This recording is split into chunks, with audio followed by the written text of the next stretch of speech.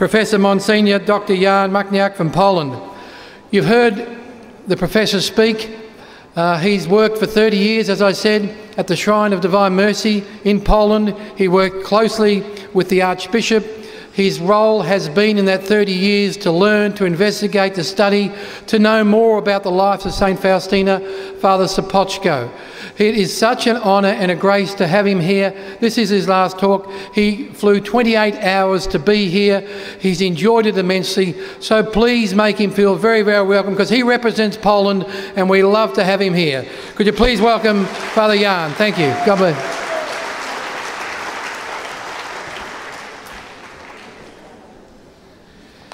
Thank you very much again for this opportunity to speak to you, to so big crowd. I am very happy to see you. Whole week we are following, we are going deeper and deeper in the mystery of divine mercy.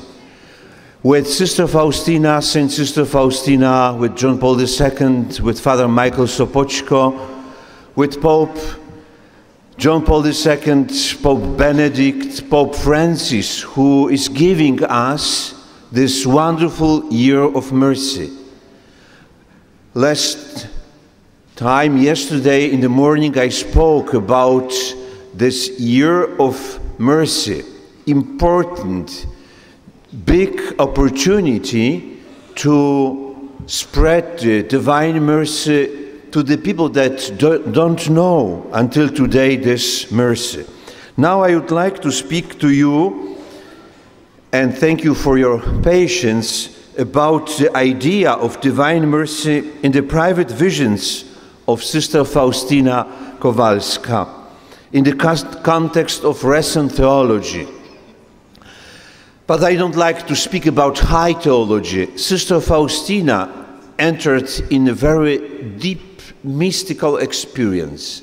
She spoke to Jesus and she heard his voice she saw him like she described when uh, one painter in Vilna, today is Lithuania, painted this image of divine mercy. She said, Jesus was more, more beautiful. But I am happy. But I am, I am very happy. I would like to ask again, do we can see the Lord how we can see the Lord. With our eyes, is this possible? Our Lord Jesus Christ lived long time ago in this world, in, Ju in Judea, in Galilee. 2000 years ago, he was born from the Virgin Mary in Bethlehem. Then, as a young teacher, he was going from the village to the village, curing the people. And a lot of women used to say, Oh, how wonderful you are, how beautiful you are. Then he took the cross, was crucified, died on the cross. But the third day, when Mary of Magdala and another woman came to the tomb, was empty. When Peter came the tomb was empty. But the day, the same day, in the evening, the disciples were in cenacle in Jerusalem, in upper room. And Jesus entered. It was difficult to recognize him. But when he said to them, Peace be with you, they recognized him. Thomas was not this evening in upper room in Jerusalem. When he came back, he said, I don't believe. I have to touch. And the week after, Jesus came and said to Thomas, Touch my wounds. And be not unbeliever. You have to believe. And we know what's answered Thomas my Lord, my God, my Lord. My dear brothers and sisters, this is the background, the theological background to speak about the visions of Sister Faustina. As uh, apostles, after death and resurrection of the Lord, of our Lord Jesus Christ, saw him. They saw him not only in Cenacle, they saw him also in Galilee when he came to them and he said, Prepare something to eat, prepare the meal. Because they said, Oh no, this is some vision, but not real Lord. And he started to eat with them. My dear brothers and sisters, dear apostles of divine mercy, I will say in the same way, we can see Jesus and Sister Faustina in the same way saw Jesus. In the beginning, she was surprised. She said, It's impossible to see the Lord. But Jesus came many times to her when she was praying, when she was uh, during the Holy Eucharist, during the Mass, and he said, Go to your superiors, tell to the people, I am mercy. How, how was all these visions of Sister Faustina? In the history of the church, we have the visionaries. We can show in the history of the church the people who saw uh, Jesus, not only men, but also women. For example, in 11th century, German nun Hildegarda von Bingen, Benedictine nun. She saw Jesus and she spoke with Jesus. She wrote the book, Scivias, to know the way of the Lord, to know the way of God. Very powerful woman, founded big monastery in Bingen with with, with the, her book, she was very popular in middle age. Then Elisabeth von Schönau, another German Benedictine nun in 13th century. Mechthild von Hackeborn, we, like our Mechthild, she came to give witness here uh, in Auckland, New Zealand. Lot of women, but also in Italy, St. Caterina of Siena, then in France, St. Marguerite Marie Alacoque, she saw the heart of Jesus and she spoke with Jesus near to us. In 19th century, we have St. Bernadette Soubirous, simple girl in Pyrenean mountains in France. She was in a wood and she saw beautiful lady. And this lady said to her, Drink water from ground. And the simple girl said, It's no water here, but discover it will be water here. And she started to discover ground and found it the wonderful source 150 liters per one second until today, going out. And in this water, a lot of people are receiving the health. My dear brothers and sisters, we have also the children, the three children from Fatima, Saint uh, Blessed Francis, Jacinta, and Sister Lucia. She lived almost 100 years as a small children. They saw Blessed Virgin Mother, they spoke, and the simple message pray the Rosary. Today, Medjugorje, I heard many times here in this congregation about Medjugorje. I believe.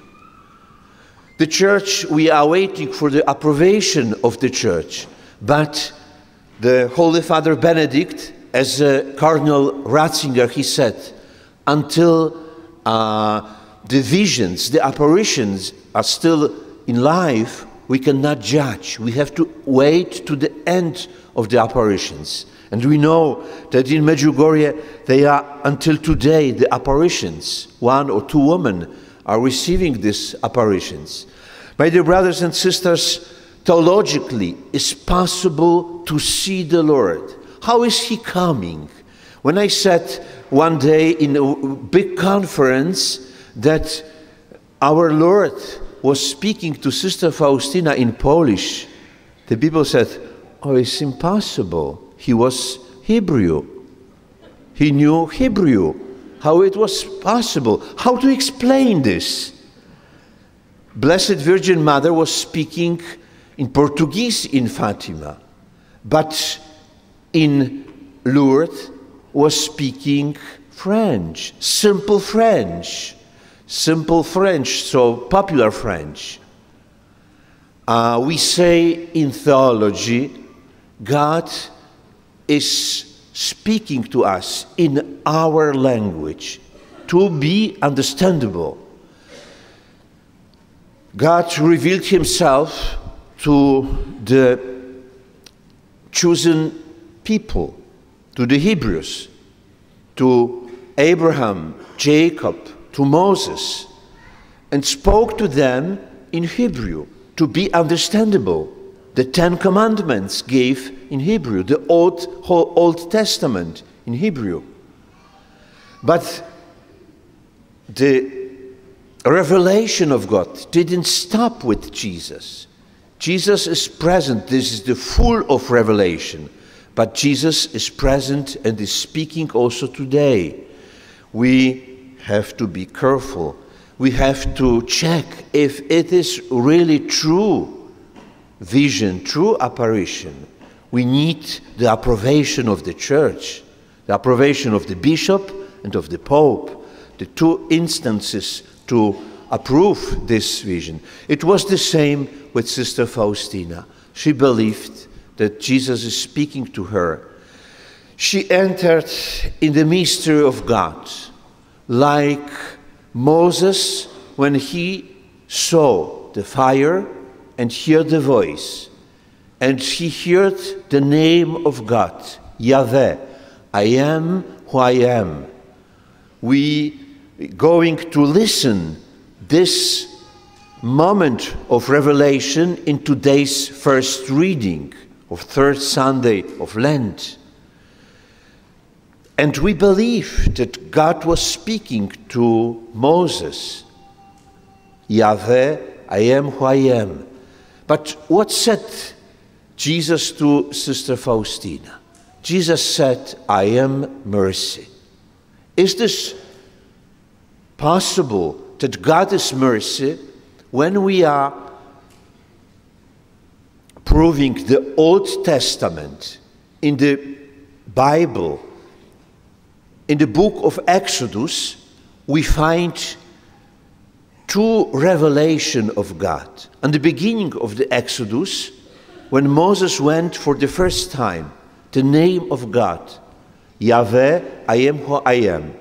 But we know that Moses used to go many times.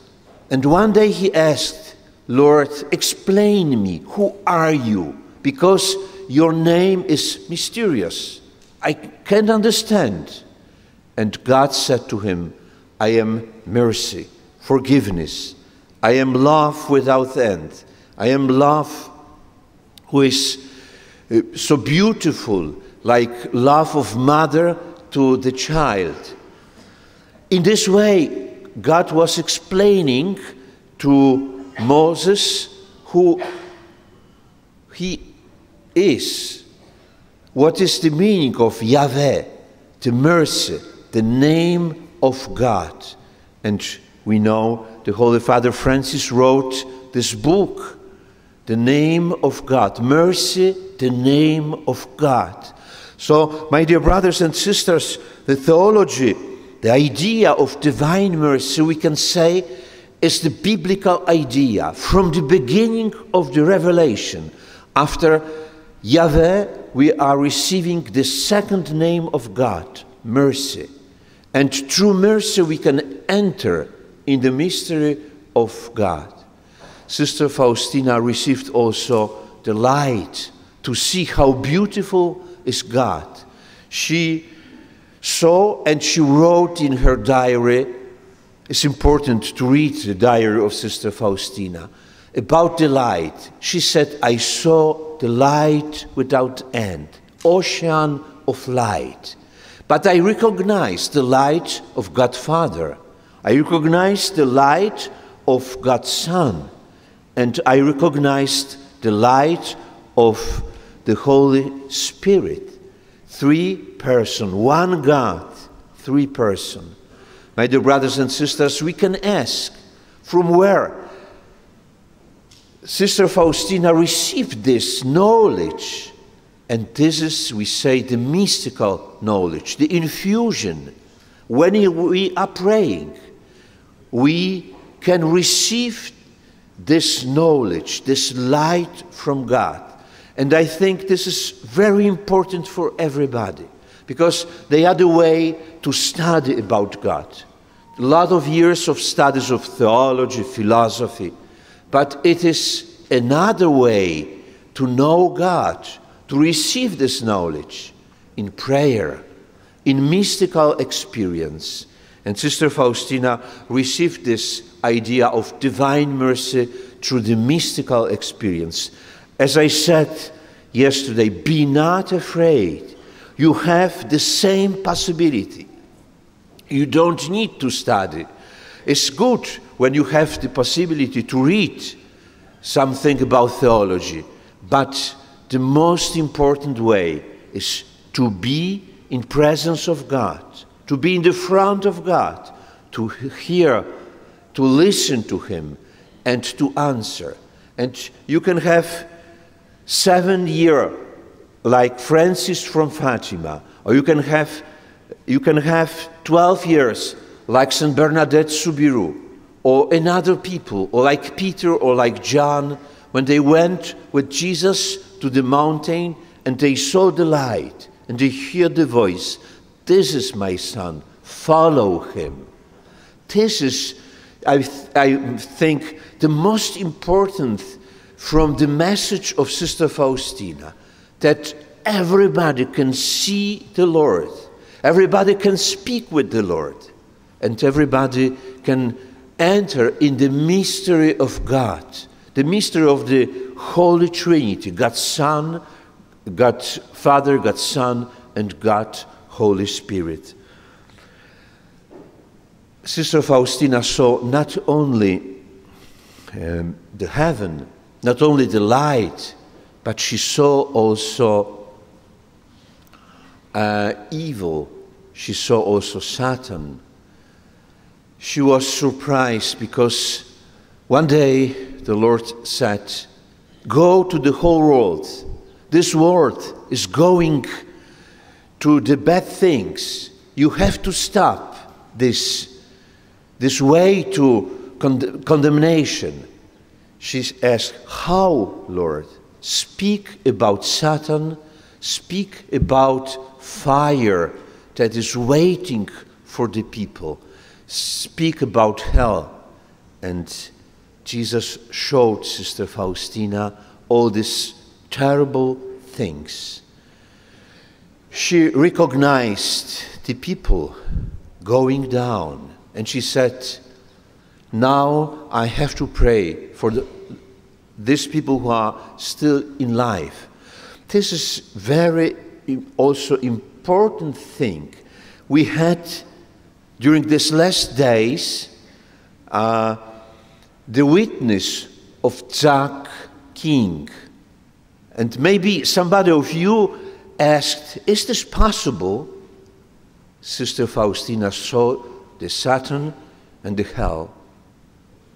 And she said, This is a terrible thing. And we cannot change this reality of the hell. What said to us Jack King in his witness, I believe the man with free will can ch choose, can make choice this or this way. And Sister Faustina also in this theology of evil is very, very important as a witness. She saw this. She saw also the temptation of the evil. When she was sick, without a will to, to, of life, he came to her and said, You see, where is your Lord? The temptation. Where is your Lord? He promised that you will, apostle of his mercy, that you will go to the whole world. He's not saying true to you. Nobody will hear you. The sisters will think that you are crazy with all your minds or your thoughts. And what said Sister Faustina? Jesus, I trust in you. With the last respire, and he left her. In Krakow, in convent, he came many times to her room to say, Don't write about my mercy, I will fire you. And she felt the smell of fire. But she said, No, I am listening to the Lord.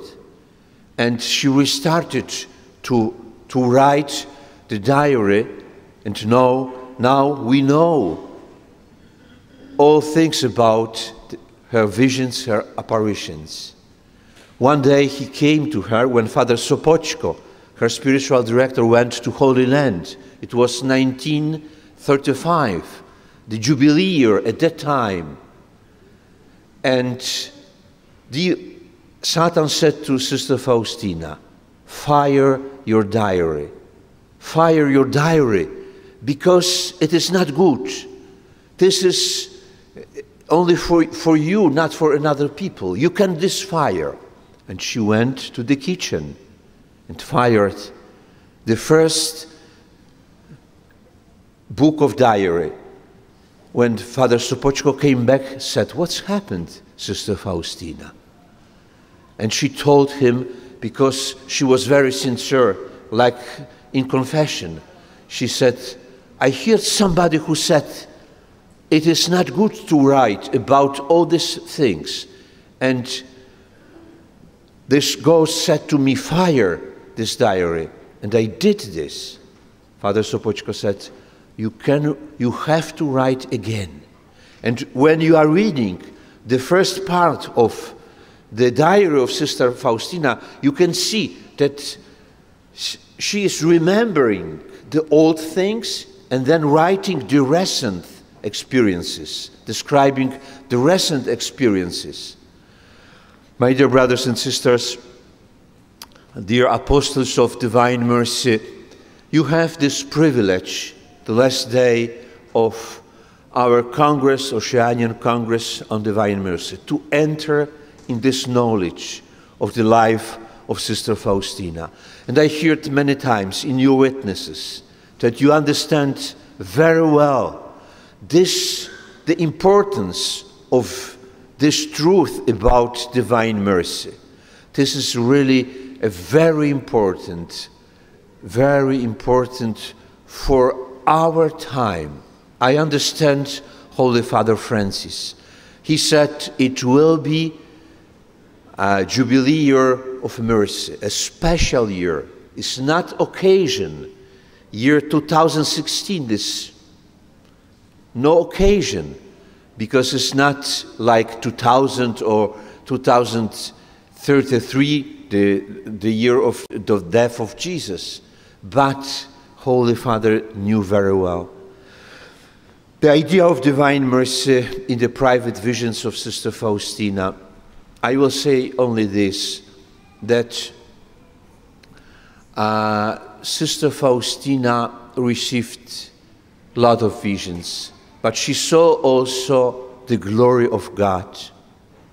She saw also the way of development of this theology of divine mercy.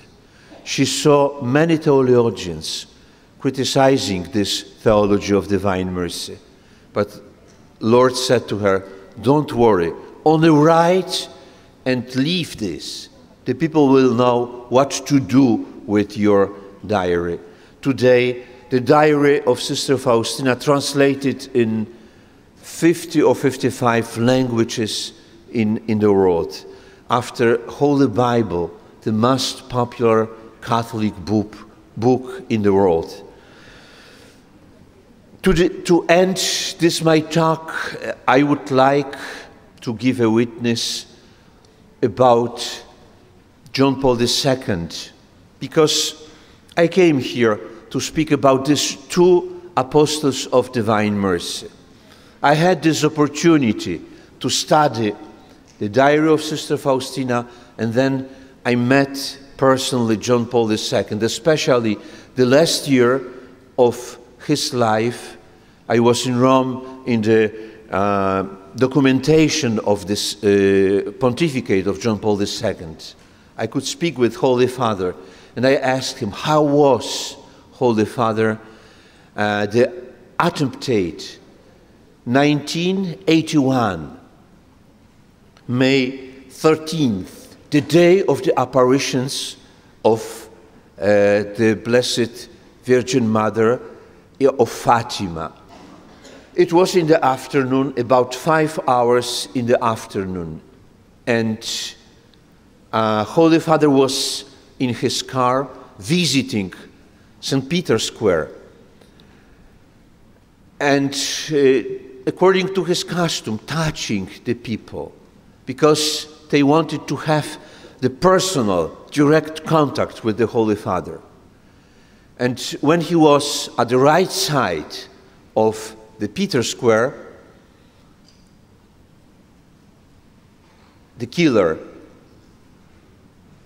killed twice. Twice.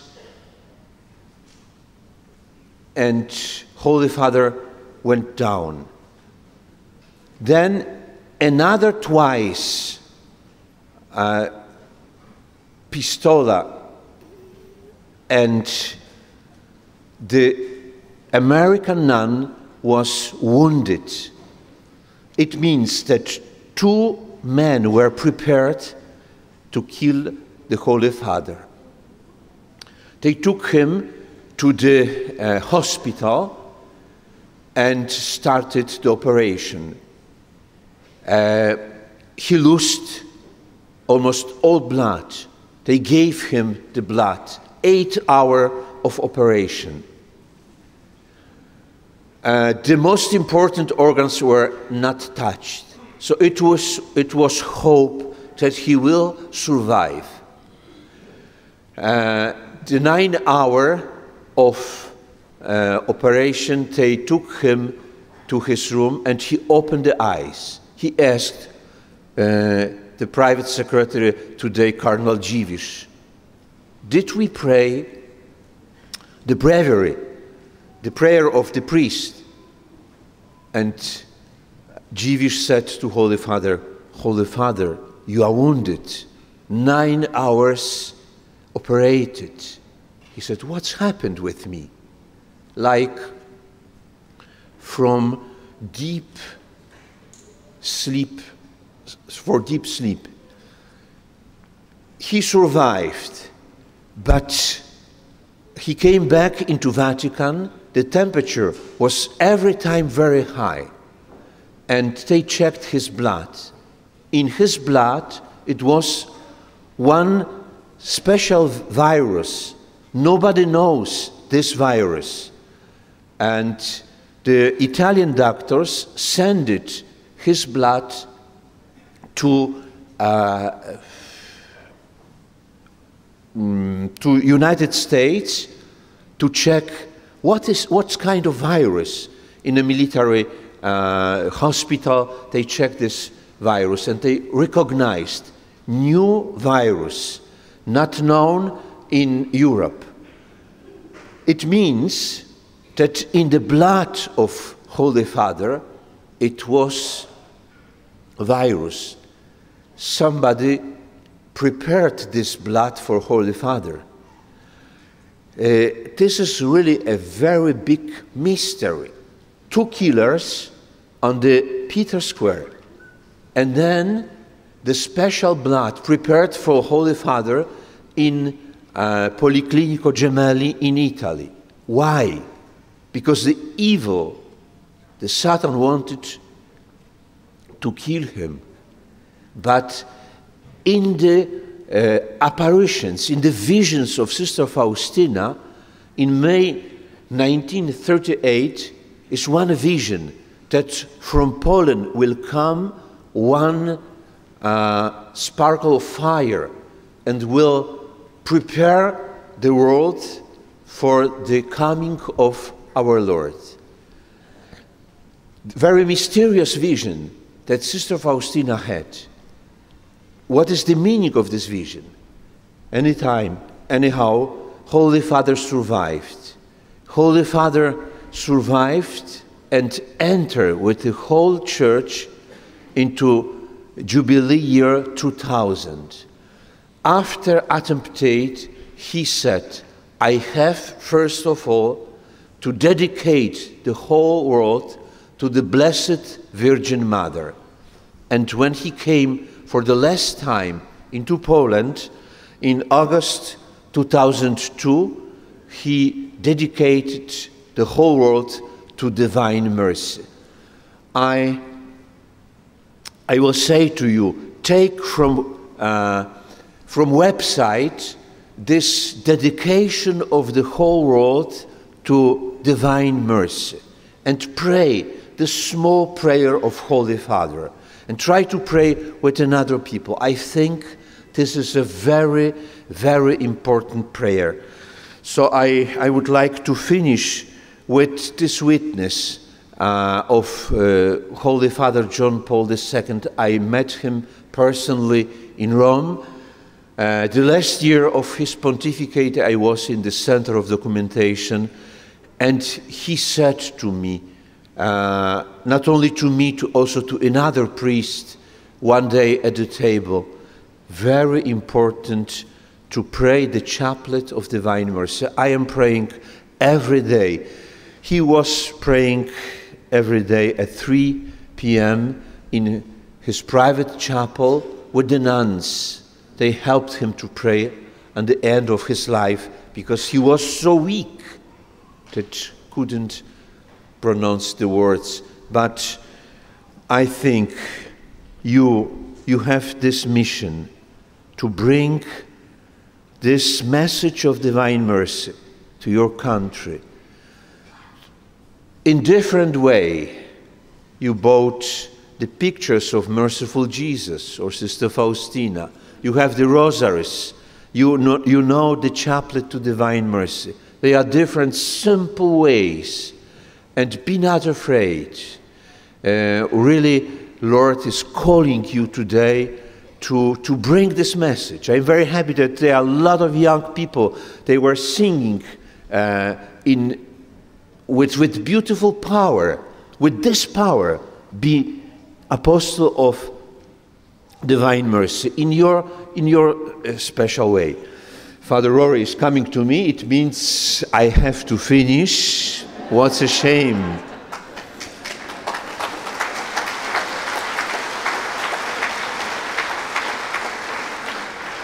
And I will bless all uh, rosaries, all pictures, all images of merciful Jesus.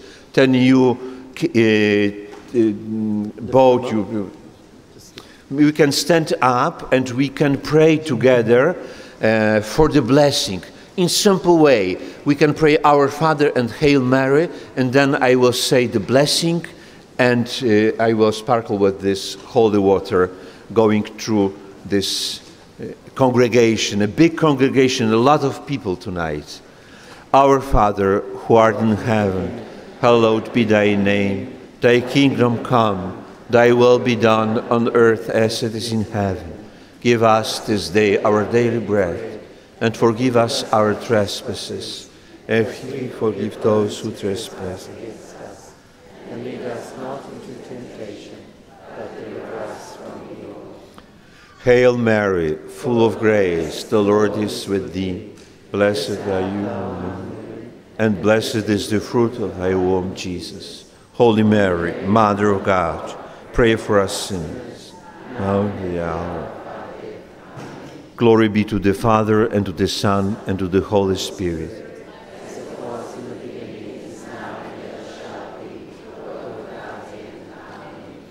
May Almighty God bless you and all objects, articles that will remind you the divine mercy, the rosaries, the medals, and the images of merciful Jesus. May they are for you and for the people that you will find in your home country the sign of the presence of God between you.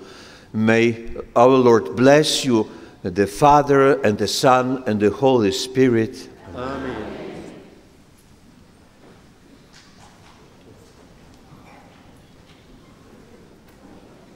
We can sing now. Uh, Misericordias Domini in aeternum cantabo misericordias Domini in aeternum cantabo misericordia Domini.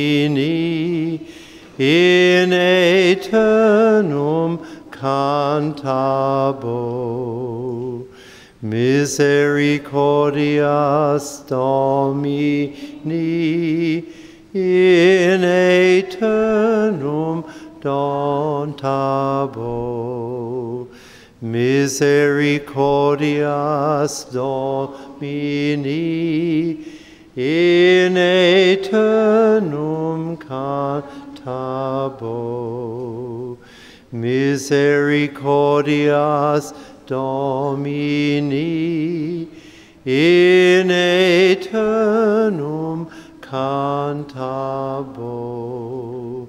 Misericordias Domini in aeternum cantabo. Misericordias Domini in aeternum cantabo. Misericordias Domini in aeternum cantabo. Misericordias Domini in aeternum cantabo. Misericordias Domini. In aeternum cantabo. Misericordias Domini. In aeternum cantabo misericordias Domini in aeternum cantabo misericordias Domini in aeternum